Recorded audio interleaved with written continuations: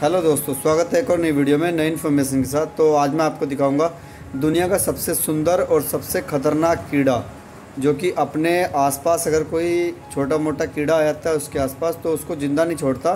और देखने में इतना सुंदर है कि आप अंदाज़ा